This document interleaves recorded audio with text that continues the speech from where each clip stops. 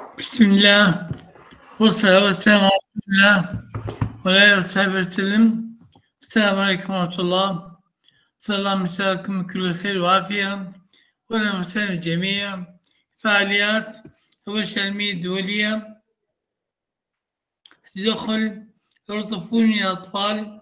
مستطيع الحنجرة الجزئي تقنيات. التربية الصوتية. هذه ورشة. هي من تنظيم مؤسسة البحث العلمية ممثلة بقسم النفسي والصحي والمركز التكويني التدريبي للمرأة والطفل بالتعاون مع كلية تمريض جامعة كريت وقسم المركز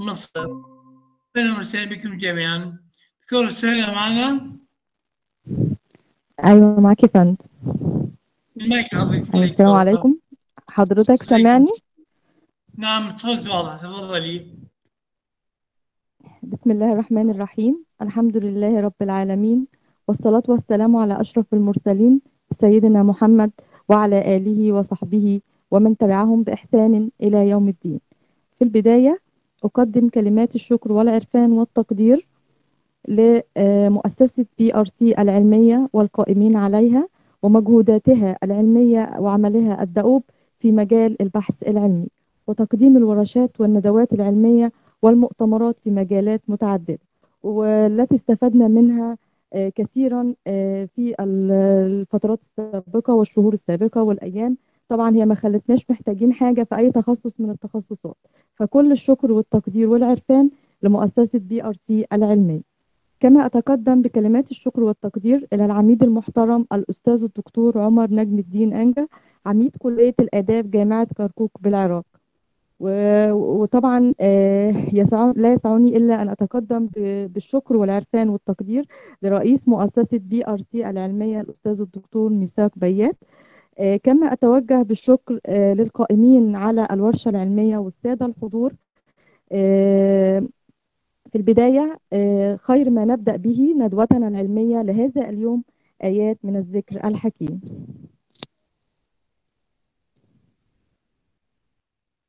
وتوكل على العزيز الرحيم الذي يراك حين تقوم. وتقلبك في الساجدين. إنه هو السميع العليم. هل أنبئكم على من تنزل الشياطين؟ تنزل على كل أفاك أثيم. يلقون السمع وأكثرهم كاذبون. والشعراء يتبعهم الغاوون. ألم تر أنهم في يهيمون؟ وأنهم يقولون ما لا يفعلون.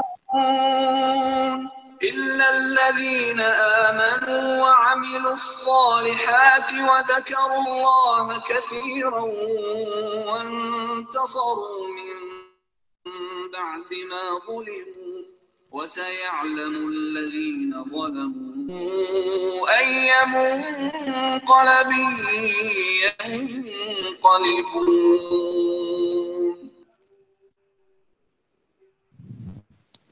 صدق الله العظيم. صدق الله العظيم. وحانت اللحظة لسماع النشيد الوطني العراقي لدولة العراق الشقيق.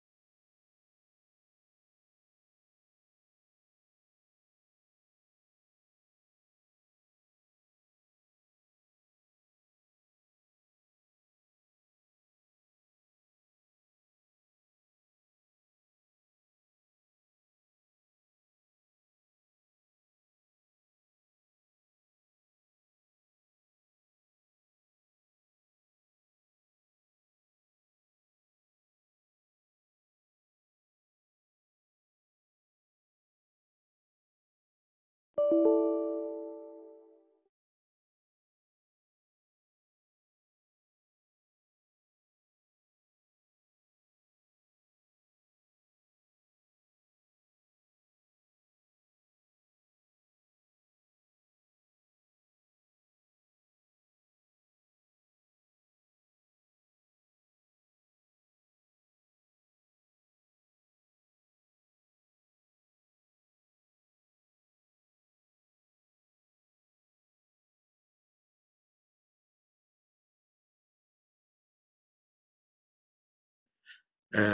لها اختصاصها وذوي الخبرة في هذا المجال لكي تستطيع أن آه، آه، تقيم خصائص الصوت لدى المصاب باضطراب الصوتي وكيفية محاولة علاجه لأن الموضوع يتعلق بسلسلة من التمارين يقوم الفرد الذي يعاني من اضطراب صوتي آه، لدفع هذه التمارين وتكون حسب آه، نوع. ولا شك أن هنالك عدة عوامل آه، نجد من خلالها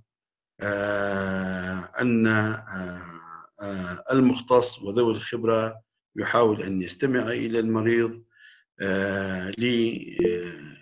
ليجعل نوع التمرين والمهارة في تطبيق التمرين لدى المصاب من أجل آه، علاجه مع مرور زمن أو وضع عدة آه، تمارين له آه، حسب نوع المصاب باعتبار أن المصاب يختلف من شخص إلى شخص آخر.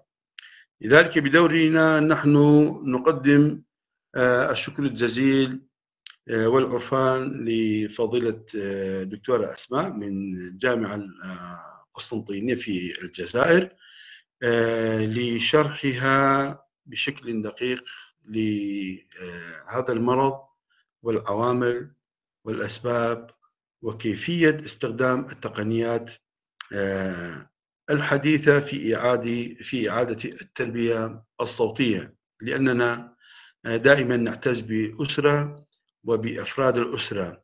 إذا كانت أفراد الأسرة سالمين لكن قد نجد في أسر الأخرى من أفرادها من هو مصاب لكن نستطيع من خلال هذه الورشة ومن خلال هذه المحاضرات أن نقدم آه، التربية الصحية لكيفية آه، مساعدة هؤلاء الأطفال المصابون بعاهة صوتية. وكذلك لا يفوتني إلا أن أقدم شكري واعتزازي وسعادتي للجان العلمية والتحضيرية والفنية الذين يساهمون ويبذلون جهد ليل نهار لإنجاح مثل هذه الحلقات. وأشكر فضيلة الأستاذ دكتور ميثاق لجمع العقول العلمية في آه، مثل هذه الحلقات سواء كانت ورش أو ندوات أو مؤتمرات ببحث مثل هذه المواضيع. آه، وجمع عقول علمية لعرض تساؤلات إضافات آه، وبحث مثل هذه المواضيع. وأيضا نجد أن هنالك توصيات لنهاية كل ورشة أو ندوة بمثابة الدواء والعلاج الحقيقي لمثل هذه المشاكل الاجتماعية النفسية الصحية المختلفة المتنوعة. بارك الله فيكم. أتمنى الموفقية للجميع. أسأل الله سبحانه وتعالى أن يجعل سعيكم في ميزان حسناتكم. والسلام عليكم ورحمة الله وبركاته. شكرا فضيلة العميد. الأستاذ الدكتور عمر نجم الدين أنجا عميد كلية الآداب جامعة كركوك العراق. شكرا يا فندم. آه والكلمة الآن للدكتور ميثاق بيات رئيس مؤسسة BRC العلمية بارك الله فيك دكتور شايدة تشكر تقدير حضرتك. شكرا يا فندم. معنا السيد العميد المحترم. السادة الكرام السلام عليكم ورحمة الله. فقدان صوت المرء بينقضي حالتين حينما عرضت علينا الدكتور اسماء هذا الموضوع بصراحة تم فهمه ليس لدي خبرة في هذا المجال لكن لدينا خبرة في قضايا السرطان قضايا استئصال الحنجرة للإصابة بمرض السرطان لكن استئصالها استئصال جزئي بالنسبة للأطفال رأيناه في البداية موضوعا قد يكون صعبا فكيف يكون؟ بعد أن قال عن الموضوع بإذن أن استئصال الحنجرة وإجراء جراحي تضمن الاستئصال للحنجرة نفسها بالتالي فصل الجزء العلوي من الجهاز التنفسي ما يؤدي إلى فتح القصبة الهوائية. بهذه الطريقة يتم على حساب صوت المريض يتكون البلوم الجديد اللي يعمل فقط كممر هضمي بين الفم والمرء هذا كله مصابين بسرطان الحنجرة. لكن قضية أن يكون المصاب طفلا بالتهاب كبير بالحنجرة يؤدي إلى استئصالها لم نعرف كيف نعالجه. لذلك كل استقبلنا الدكتور اليوم توضح لنا هذه العملية. لكن بذات الوقت لما نعود إلى استئصال الحنجرة بسبب أمراض السرطان نجد أنها أن هذا الأمر قد بدأ منذ الربع الثاني الربع الثاني من القرن التاسع عشر. بدأت المحاولات الأولى بهذه العمليات لكنها كانت معدل إلى 50% تنجح أو لا تنجح. بدأت الأولى عمليات التي اتخذت طابعا جيدا في هذا الإطار في النصف الأخير من القرن التاسع عشر بعام 1973 عندما استخدم طريقتين خطوتين أساسيتين في هذه العمليات. كلها بداية حقيقية لاستئصال الحنجرة. ولكن حتى بعد استئصالها هناك استراتيجيات خاصة يجب على المريض أن يطبقها ويتعلمها كي يعاد ويسترجع الصوت. حتى في هذه العمليات الاستئصال التام للحنجرة يكون الحبال الصوتية. معنى ذلك على المريض أن يتعلم الكلام تعلما كاملا من جديد. لكن هنا في هذه الورشة الاستئصال ليس كاملا. إنما جزئيا. الأطفال فكيف يتم ذلك؟ لم ما بارك الله بها. هذه الليلة عبارة عن دورة تكوينية بهذا المجال وهي من أول الأعمال التي نستقبلها في هذا بارك الله بكم جميعا مرحبا بها والسلام عليكم ورحمة الله. آه، شكرا للأستاذ الدكتور ميثاق بيات رئيس مؤسسة BRC العلمية آه، على هذا الكلام الرائع. طبعا موضوع ورشتنا النهاردة عن مستأصلي الحنجرة الجزئي تقنيات إعادة التربية الصوتية لدكتورة أسماء بن شخشو طبعا اللغة تعتبر هي الوسيلة الوحيدة التي تقوم بكل وظائف الحياة اليومية وهي طريقة للتواصل والتفاهم مهما كان شكلها سواء كانت لغة منطوقة أو مكتوبة أو شعر مهم أن تؤدي الغرض الذي يسعى إليه الإنسان تجاه إنسان آخر. فهي المادة الخام للتواصل والتخاطب مع الغير وكلما نضج الطفل نضجت هذه العملية عنده. لكن تتطلب وجود شروط من بينها صحة الطفل البدنية وعدم ظهور أي مرض عضوي أو وظيفي من شأنه إعاقة الوصول بالطفل إلى عملية التواصل الكامل. آه، طبعا دكتورة أسماء هتشرح لنا آه، أن الأطفال دول بيحتاجوا إلى التدخل وإعادة التربية الصوتية. اتفضلي دكتور. شكرا لك أستاذة. اتفضلي آه، بسم الله بسم الله الرحمن الرحيم. والصلاة والسلام على أشرف المرسلين خاتم الأنبياء سيدنا محمد صلى الله عليه وسلم. في البداية اسمحوا لي أن أرحب بالمشاركين معنا في هذه الورشة العلمية من أساتذة ومختصين وباحثين عبر مختلف أنحاء الوطن. كذلك دعوني أقدم شكري إلى الأساتذة الأفاضل على رأسهم الأستاذ ميثاق البيات على هذه المجهودات المبذولة وكل شرف للمشاركة في هذه الورشة العلمية لهدفين أساسيين. الأول وهو فرصة من أجل تبادل الآراء والخبرات والأبحاث وكذلك الاطلاع على عدة مجالات في العلوم الإنسانية يحتاجها المختص الأرطوفوني والسبب الثاني هو فرصة من أجل تثمين اختصاص ودور أخصائي أمراض اللغة والتخاطب في ميادين البحث سواء بالنسبة للطفل أو بالنسبة للراشد. في لذلك أهلا بالجميع. آه، اليوم في هذه الورشة سوف نتطرق إلى اضطراب من اضطرابات اللغة الشفهية. كما أشارت الأستاذة من قبل أن اللغة هي وسيلة الأساسية لنقل آراء أفكار تواصل بين البشر. ويعتبر الصوت هو جزء من هذه اللغة.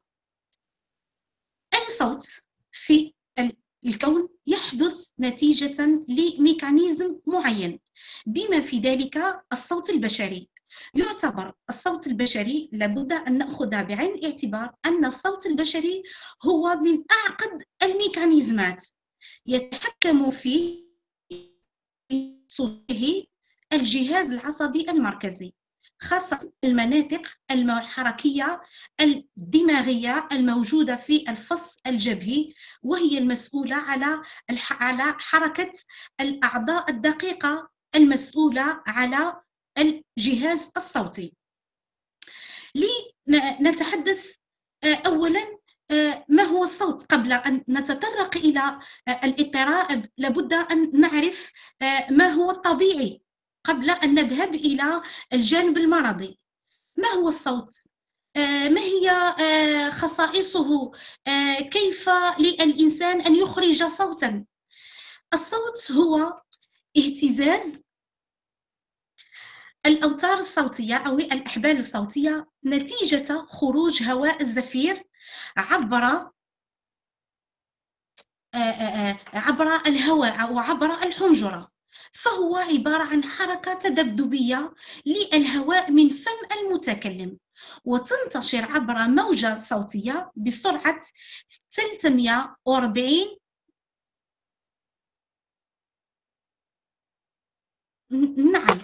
آه، آه، انتشار الصوت آه، متر في الثانية. لابد الإشارة هنا إلى أن موجة الصوت وانتشاره تختلف باختلاف المحيط الذي خرج منه صوت فانتشار الصوت عبر الماء مثلا يختلف عنه عند انتشار الصوت في الهواء أو عند وجود حاجز.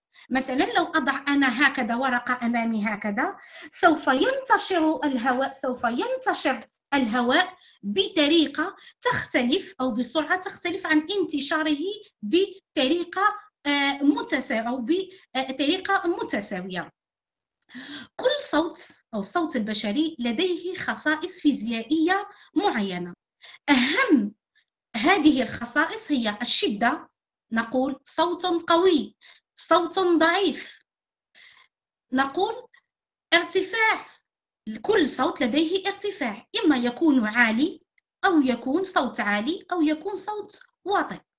الجرس الجرس هو آه، الخاصية التي تميز الصوت البشري عن صوت بشري آخر.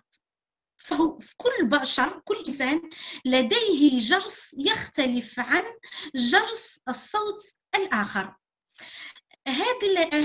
هذه الطبيعة هذه كل جرس عنده أنواع. عندنا لدينا الجرس الأجش وهو عندما تكون الأوتار الصوتية غليظة وجافة. آه، ينقصها لعاب. المادة تنقصها المادة اللزجة. عندنا الجرس الأغلب وهو عندما يشتد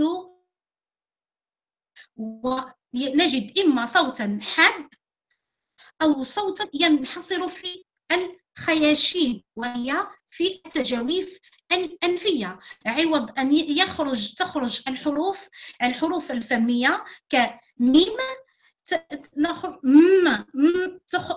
يخرج أو مخرج الحرف يكون من من الأنف. أي أي كذلك لدينا الجرس الحلقي وهو يحدث نتيجة حصر الصوت في الحلق يكون صوت وكأنه صوت مخنوق. يحدث نتيجة مثلا لانفعال نتيجة نتيجة غضب إنسان نتيجة صياحه وكأنه يتكلم أو يخرج الصوت من الحلق. هذه كذلك ولدينا كذلك الجرس المخنوق وهو غياب الرنين أو اللحن فيكون الصوت دائما يكون صوت الإنسان منخفض على الوتيرة الطبيعية للصوت الطبيعي أه لابد الإشارة هنا إلى أن أي خلل يصيب هذه الخصائص يعطينا اضطرابا صوتيا آه. الأجزاء ما هي الأجزاء المسؤولة عن التصويت؟ لدينا الحنجرة يتكلم يخرج الصوت من الحنجرة.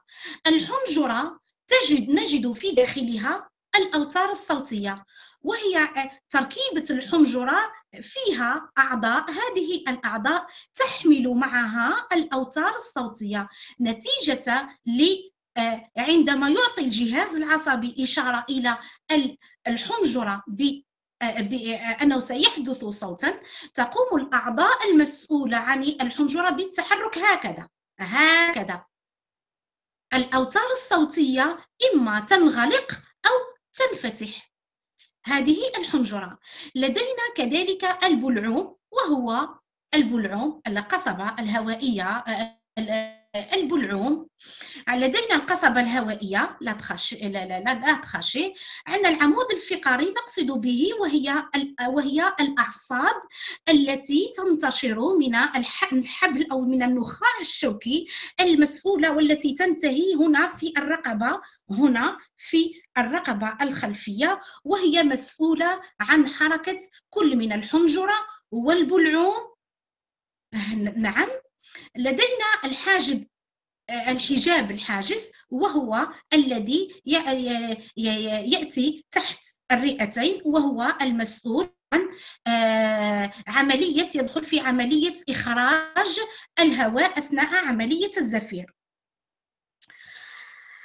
آه، الشريحة من فضلك أستاذ الشريحة التي بعدها. نعم نلاحظ هنا ها لدينا الجهاز الحنجري لدينا في الصورة على اليمين لدينا آه، مقطع طولي للحنجرة لدينا من فوق لسان المزمار. لسان المزمار هو ليبيغلوت عبارة عن وكأنه لسان الذين الذين نتحدث به عضو اللسان. هذا هذا لسان المزمار هذا عند خروج الهواء ونريد أن نتكلم يقوم بإغلاق القصبة يقوم بإغلاق آه، مسار الأكل. ويسمح إخراج الصوت. عندما نقوم بالأكل عندما نكون في وضعية أكل يقوم هذا لسان المزمار بإغلاق القصبة الهوائية وذلك تفاديا لأخطاء المسار دخول الهواء إلى القصبة الهوائية. فهذا عنصر جدا مهم جدا في عملية التصويت. لدينا الغضاريف هذه الغضاريف هي التي تتحكم في آلية آلية عمل آلية عمل العظام العظام التي تتحكم في الأجزاء الداخلية وهي التي يلتصق بها الأوتار الصوتية. في الصورة التي على اليسار هي مقطع عرضي للحنجرة. أين؟ أين؟ تبرز تبرز عضوي كل من الغضاريف والأوتار الصوتية. الأوتار الصوتية في الشريحة التي بعدها من فضلك أستاذ. لدينا الأوتار الصوتية في نلاحظ الأوتار الصوتية في الصورة الأعلى أثناء عملية الكلام أو إخراج صوت وكأننا نقوم بعملية صياح. آه عن عن ابنكم عندما نقول مثلا حرف آه هنا هذه تكون الأوتار الصوتية بهذا الشكل. عندما نقوم نكون في حالة سكوت عدم خروج لا هواء ولا كلام. يكون الأوتار الصوتية متلاصقة مع بعضها البعض. كيف؟ السؤال الذي يطرح نفسه كيف تتم عملية التصويت؟ هنا آه، عندما تتم آه، اللائحة الشريحة التي بعدها عملية التصويت تحدث نتيجة عملية التنفس. أثناء خروج الهواء من الرئتين يقوم أول حاجة قبل الرئتين تقوم عضلات البطن تتشدد تنشد تنشد وتدفع وحاجب الحجاب الحاجز يدفع الرئتين إلى الأعلى يخرج عملية الهواء. هذه عملية أو الهواء تخرج عبر الحنجرة تحدث أين تحدث؟ اهتزاز أو اهتزاز الأوتار الصوتية. هذا الاهتزاز هذا ما يعطينا صوتا. أي اهتزاز تقوم به الأوتار الصوتية تعطينا صوتا. في كل مرة تحدث عملية إطلاق الهواء من الحنجرة و وتقوم ب تنتقل هذا الهواء إلى البلعوم وبالتالي تكون هنا الموجة الصوتية تخرج إلى الهواء وتعطينا صوتا. اضطرابات الصوت تحدث ما هو؟ اضطراب الصوت عند حدوث أي خلل في هذا الميكانيزم سواء في آلية التصويت يعتبر خلل وظيفي أو عندما يحدث عملية استئصال للحنجرة نتيجة لورم معين فإن خصائص الصوت آه، تصاب. عندما تصاب خصائص الصوت يعطينا هنا اضطرابا صوتيا. لابد من أشير إلى نقطة جد مهمة أن لدينا عدة أنواع من اضطرابات الصوت وليس اضطراب صوت واحد. هنا في هذه الورشة سوف نتطرق إلى نوع واحد من اضطرابات الصوت. وهو الناتج عن آه، استئصال الحنجرة فهو إذا اضطراب عضوي يمس الأعضاء. آه، لدينا اضطرابات آه، الصوت الوظيفية. مثلا تحدث نتيجة لإجهاد صوت. عند نجدها عند الأستاذ الجامعي مثلا عند الأستاذ عند المغني. نجدها نتيجة لتعب تعريض تعرض الأوتار الصوتية إلى إجهاد. هذا نسميه آه، وظيفة وظيفة وظيفة الأوتار الصوتية. لدينا كذلك اضطرابات صوتية نتيجة ل مثلا آه، مثلا توتر نفسي. نجد توتر نفسي يؤدي إلى يكون مثلا الخوف مثلا نجد الخوف.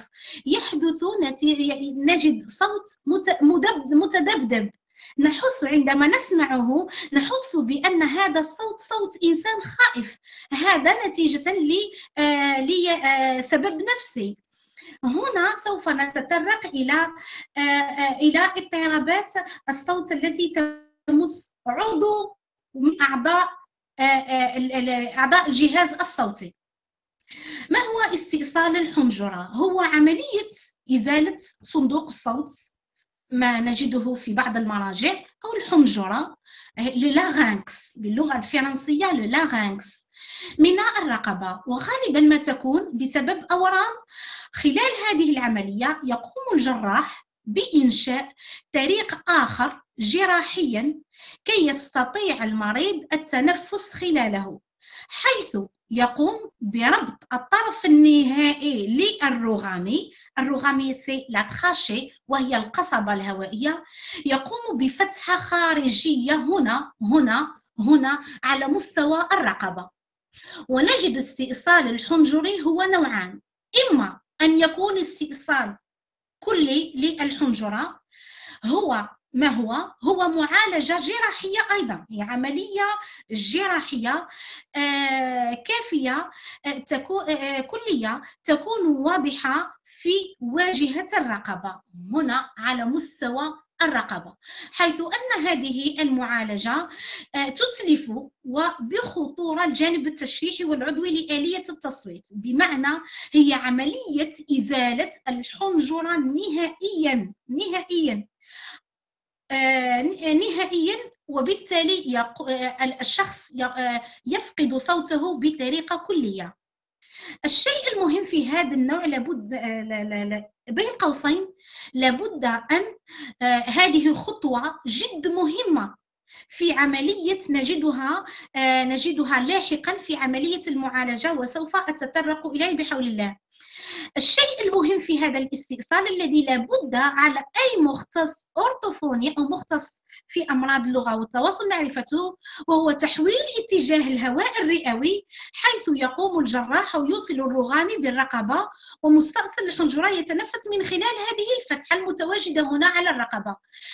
عند عندما يريد أو مستأصل الحنجرة الكلي عندما يريد إخراج صوتا يقوم بإغلاق هذه الفتحة أو الآلة بيده لكي يستطيع إخراج الصوت.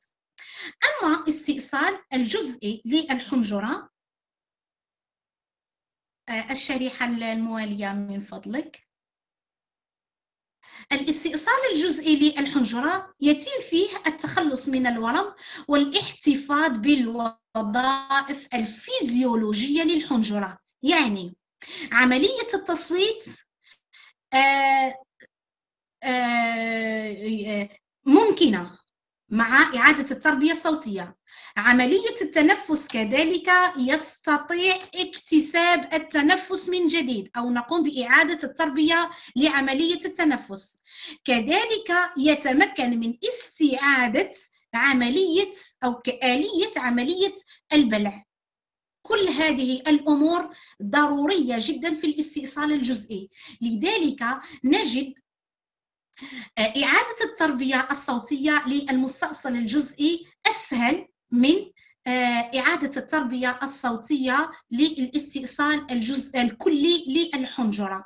هناك فرق آه، فرق شاسع بين هاتين الحالتين. نقطة موالية. نجد. آه، البروتوكول آه، آه، في المحور الأول نظرة شاملة حول الحالة الطبيعية للصوت. هنا ندخل في البروتوكول العلاجي أو إعادة التربية الصوتية. قبلا أو قبل أن نغوص في هذا البروتوكول لابد من الإشارة إلى خطوة. أن خطوات التكفل بهذه الفئة تمر عبر مراحل. آه، المرحلة الأولى أو بعد آه، المرحلة الأولى وهي المهمة جدا وهي الاطلاع على الملف الطبي للحالة. بمعنى لابد من تحديد ما هي أو إجراء آه، إجراء التصوير المغناطيسي للحنجرة لمعرفة ما هي الأجزاء المتبقية من الحنجرة. هنا الغرض من إعادة التربية الصوتية وهي في الحقيقة آه، هو آه، قبل إعادة التربية الصوتية لأعضاء الحنجرة كما أشرت في الأول أن الجهاز الصوتي من الذي يتحكم فيه؟ يتحكم فيه الجهاز العصبي المركزي قبلا أو في الحالة الطبيعية الجهاز العصبي المركزي يعمل آه، في آلية التصويت يعمل بآلية عادية طبيعية لكن هنا سوف نقوم بخلق مسارات عصبية جديدة لهذه الجزئيات التي تبقت من الحنجرة لكي تتعاون مع بعضها البعض وتنجز صوتا جديدا. هنا هذه الفكرة لابد أن يأخذها بعين الاعتبار أي مختص في أمراض اللغة والتخاطب. الدراسة التي أمامنا بالطبع هذا البروتوكول قمنا بتطبيقه على عدة أطفال. آه لابد من الإشارة أن آه مدة البروتوكول هي مدة جد طويلة تختلف بطبيعة الحال من طفل إلى طفل ومن بعد من بعد سوف نتطرق إلى هذا الموضوع. المهم الهدف من الدراسة تهدف الدراسة إلى إعادة التربية الصوتية لمجموعة من الأطفال مستأصلي الحنجرة الجزئي الناتج لأورام مختلفة الأنواع. نحن نعرف بأن الأورام عندنا ورم في المرحلة الأولى ورم في المرحلة الثانية والورم في المرحلة الثالثة. هذه هؤلاء الأطفال كان لديهم أورام بدرجات مختلفة. première stade deuxième stade et troisième stade. هذا من طرف مختص أمراض اللغة والتواصل بغية الهدف هو استرجاع الصوت لدى هؤلاء من خلال تكامل كما ذكرت سابقا الأجزاء المتبقية من الحنجرة. لنصدر صوتا يكون هذا الصوت بديلا لابد أن نأخذ بعين الاعتبار. أقولها وأكررها إنه صوتا بديلا عن الصوت الطبيعي لهم. بمعنى أنه نوفو آه، سي آه، صوت صوت جديد. المنهج الذي اتبعناه في هذه الدراسة هو المنهج الوصفي. لتناسبه مع موضوع الدراسة. تفادينا المنهج التجريبي لأن المنهج التجريبي يحتاج إلى قياس قبلي قياس بعدي. نحن هنا لا لسنا أمام دراسة إحصائية أو دراسة آه، ل آه، ل آه، تجريب فعالية البروتوكول. هي دراسة نريد من خلالها استرجاع صوت معين. تم الاعتماد فيها لذلك تم الاعتماد في هذه الدراسة على المنهج الوصفي لتناسبه مع موضوع الدراسة. بطبيعة الحال اتبعنا تقنية دراسة الحالة لأننا في هذا الموضوع نقوم بتسليط الضوء كل حالة على حدة. لذلك لا ينفعنا المنهج التجريبي في هذه في هذه الدراسة. آه، عندنا عينة الدراسة. آه، قمنا بتطبيق هذه الدراسة على أطفال مستأصلي الحنجرة الجزئي نتيجة لأورام قلنا سابقا بدرجات متفاوتة بلغ عدد الأطفال عشر أطفال من أعمار مختلفة محصورة بين 10 و 13 سنة. آه، هنا في مصحة الأنف والأذن الحنجرة بالمستشفى الجامعي. يصل تقريبا تقريبا حوالي من حالتين إلى ثلاثة حالات أسبوعيا يعانون من أورام في في الحنجرة. آه، وتستقبل من طرف الأطباء ويقومون بإجراءات اللازمة ويقومون بالاستئصال. آه، آه، لاحظنا أنه الاستئصال الجزئي الجزئي نسبة نسبته أكثر من الاستئصال الكلي. لذلك آه، آه، لاحظنا أنها أن هناك انتشار واسع بين بين هذه الشريحة. آه، كنا نعتقد أنه يصيب الكبار فقط ولكن عافانا الله وعافى أولادنا وحتى عافى كبارنا أنه يعاني منه يعاني العديد من هذا هذا المرض. منهم هذه الفئة هذه منهم أربعة إناث وست ذكور. لاحظوا هذا الجدول مع معي. خمس حالات هذه الحالات مدة إجراء العملية شهر. من إجراء العملية. عندنا حالتين مدة إجراء العملية ثلاثة أشهر. حالتين مدة إجراء العملية خمسة أشهر وحالة واحدة مدة إجراء العملية عشرة أشهر. هنا نلاحظ جيدا أن الفترة اختلاف الفترات اختلاف الأعمار وكذلك اختلاف فترة إجراء العملية. سوف نجدها لاحقا في تحليلنا للنتائج. أدوات الدراسة استخدمنا في الدراسة بطبيعة الحال برنامج علاجي. هذا البرنامج مبني على عدة تقنيات تم تطبيقها عبر جلسات علاجية. دامت أكثر من عشرة أشهر آه، في مع بعض الحالات أكثر من ذلك بسنة دامت سنة. فعملية لوجود عدة متغيرات سأشير إليها لاحقا. آه، فعملية استرجاع الصوت هي من أصعب الاضطرابات هنا التي يواجهها المختص اللغوي. صعب جدا استرجاع صوت آه، من جسم الإنسان. صعب في غاية آه، الصعوبة. لذلك فهي عبارة عن تقنيات آه، جد متخصصة تقنيات جد دقيقة تحدث وفق جلسات علاجية مرتبطة بشخصية الحالة في حد ذاتها مرتبطة بالمرافقين مرتبطة بعدة أمور سوف نتطرق إليها لاحقا. هذا البرنامج طبق عبر مراحل آه، فلا يمكن من بين أهم شروط تطبيق هذا البرنامج. أولا لابد أن يتم عبر مراحل. لابد أن تكون كل مرحلة منفصلة عن المرحلة اللاحقة. ولا يمكن الشرط الثاني لا يمكن للمختص أن ينطلق في إعادة تقنية في مرحلة أخرى حتى يكون الطفل قد اكتسب التقنيات السابقة اكتسابا جيدا. هذا هذه شروط جد مهمة. إذا آه، من بين كذلك الشروط آه، أول حاجة الشرط الأول آه، لتطبيق هذا البرنامج هو يتم عبر مراحل.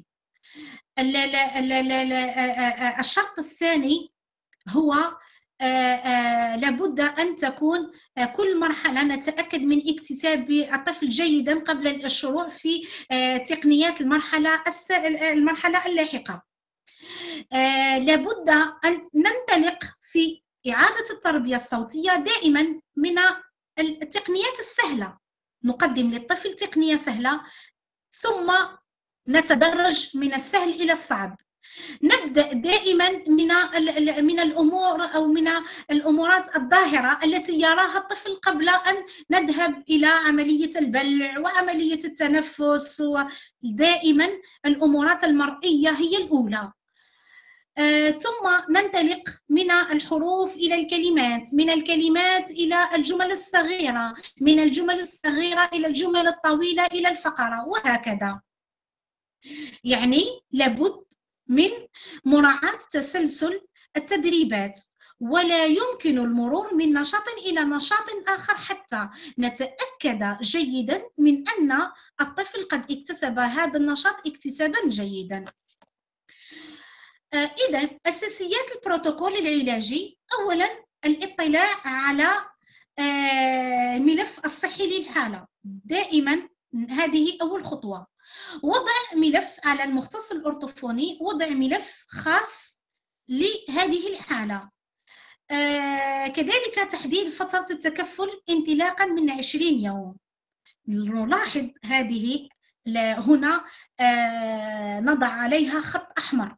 20 يوم هي المدة المحددة أو اللازمة لبدء عملية إعادة التربية الأرطوفونية أي تأخير فيها سيتحمل آه، سنتحمل آه، نتيجة آه، أو تكون أصعب. كل ما ما زاد زاد فترة التكفل ما بين إجراء العملية إلى إلى عملية إلى عملية أو البدء في البروتوكول العلاجي نتعرض إلى إلى أمورات أكثر صعوبة. كذلك المرافقة. المرافقة وهي تشمل الوالدين أو أي مرافق للطفل لا, يمكن أن أقوم بعملية آه، أو إعادة التربية الصوتية آه، دون وجود مرافق للطفل لماذا؟ هنا نتساءل لماذا المرافقة هنا ضرورية؟ لأن كل نشاط أقدمه أنا كمختصة أورتوفونية للطفل ستقوم الوالدة نعتبرها المرافقة هنا الوالدة. ستقوم الوالدة أو الأم بإعادة هذا النشاط أو تكراره في المنزل لأن المدة المحددة لعملية أو في كل نشاط المدة المحددة يعني فيه أو في كل جلسة لا تتجاوز 45 دقيقة. لكل طفل لكل طفل 45 دقيقة. لا أتجاوزها. كل ما تجاوزتها عندما نتجاوز هذه المدة وكأننا نقوم بإجهاد صوت الطفل نقوم بإجهاده نفسيا نقوم آه، آه، بتحفيزه على عدم إكمال إعادة التربية. من الأخير سوف سوف يمل الطفل آه، من آه، إعادة التربية نظرا إلى صعوبتها وإجهاده نفسيا. آه، كذلك هنا أرجو فقط توضيح الصورة. قلنا المرافقة. المرافقة وتشمل أحد الوالدين. لابد كذلك هنا إشارة فقط قبل التتر... قبل أن آه، ندخل في عملية التمارين إعادة التربية. أشير هنا إلى دور المختص النفسي في هذه العملية. المختص النفسي في هذه العملية يتدخل في حالة عدم رغبة الطفل في إعادة التربية الصوتية. لماذا؟ لأنه سوف نقوم ب تحضيره نفسيا على أن تغيير أنه سوف. صوته يكون متغير. صوته يختلف عن الصوت الطبيعي الذي كان فيه. تغيير لابد على الطفل وكذلك المرافقين أو الوالدين. لابد أن يفهمون جيدا أن صوت طفلهم سوف يتغير. أن مدة اكتسابهم للصوت البديل ستختلف لعدة متغيرات. نتيجة متوقف على آه، تعاونهم معنا متوقف على انضباطهم مع الجلسات التدريبية آه، متوقف على رغبة الطفل في في الاستمرار في عملية في عملية آه، إعادة التقنيات وإلى آخره. كل هذا يحدث في عملية إعادة التربية الأورتوفونية. آه، فقط آه، الشريحة الموالية من فضلك أستاذ.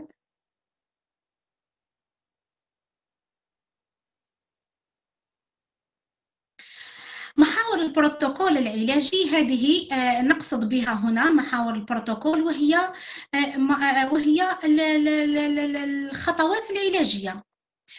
أول خطوة نقوم بها أو المرحلة الأولى وهي عملية آه، التدريب على الحركة الدقيقة الاعتيادية المتناسقة ماذا نقصد بالحركة الدقيقة الاعتيادية المتناسقة؟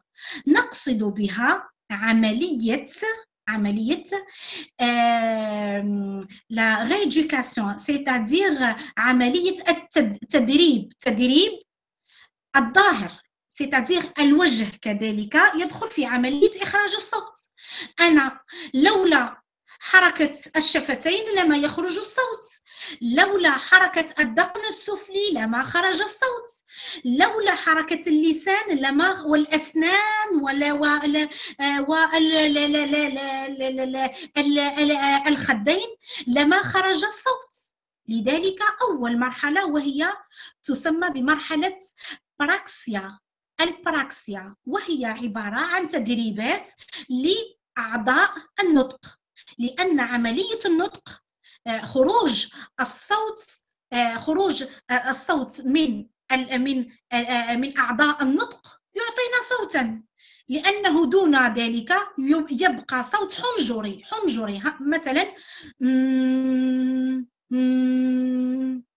هنا صوت حنجري لكن عندما أقول ا ب ت ث هنا يعطينا هنا حركة أعضاء النطق أعطتنا صوتا يخرج من يخرج من فم المتكلم. لذلك نبدأ دائما ب اولا البراكسيا اللسانية هي العمل على حركية اللسان. العمل على تقوية تقوية التقوية العضلية. لأنه مثلا عند عند أو بعد إجراء العملية الجراحية يبقى الطفل في حالة سكون لا لا يقوم بإخراج صوت. هنا نقوم نحن بإعادة التربية العضلية للسان. مثلا تحريك اللسان إلى اليمين إلى اليسار هكذا. هكذا هكذا هكذا. مثلا تحريك أو إخراج اللسان إلى الدقن حتى حتى يمس الدقن بممكن الاعتناء بقلم. ها ها. هنا ها. هنا. هنا. أو الاعتناء بحلوى أو الاعتناء بعدة بعدة أدوات. المهم هنا وهي عملية عدة مرات مثلا عشر مرات. واحد اثنان ثلاثة وهكذا. نقول هنا هذه البراكسيا اللسانية العمل على حركية اللسان وكذلك العمل على على التقوية العضلية العصبية. كلما كلما نقوم بتحريك اللسان. هنا سوف أقوم بتحريك أو تحفيز المسار العصبي الذي يقوم بتدريب اللسان. عندنا البراكسيا. هنا نقوم الهدف من هذه وهي تسهيل عملية آه، آه، لأن هذه البراكسيا قلنا البراكسيا اللسانية البراكسيا الشفهية هناك خاصة بالشفتين. مثلا هنا عملية تدليك. فوالا عملية تدليك للشفتين. هنا الخدية.